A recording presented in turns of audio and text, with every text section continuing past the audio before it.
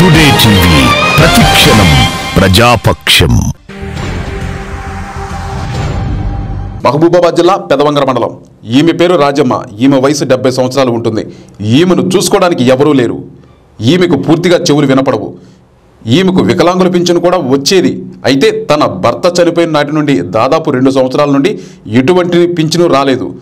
ఎన్నోసార్లు అధికారులకు మొరపెట్టుకున్నా పట్టించుకునే వారే లేరు. బ్రతకడానికి అటు ఎటువంటి పింఛను రాకుండా ఇటు ఎవరో తోడు లేకుండా ఎన్నో ఇబ్బందులు పడుతుంది. ఎప్పటికైనా అధికారులు ఆమెకు ఒక పింఛను రప్పించాలని అక్కడ ప్రజలు కోరుతూ ఉన్నారు.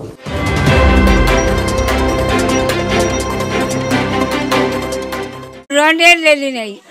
వస్తాయా మరి తేప ఇవి కూడా రావట్లేవు. ఈ రావట్లేవు ఈ రావట్లేవు పిల్లలు లేని రావట్లేవు.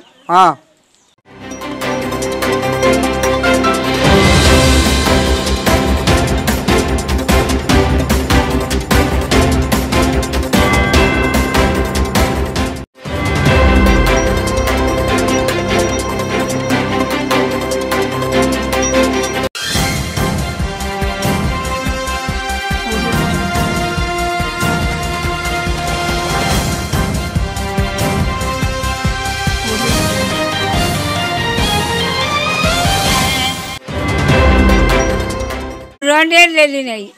వస్తాయా మరి తేప ఇవి కూడా రావట్లేవు ఈ రావట్లేవు ఈ రావట్లేవు పిల్లలు లేని రావట్లేవు. ఆ.